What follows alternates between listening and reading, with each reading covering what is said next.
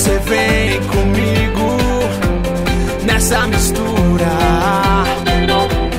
Vem ser feliz agora.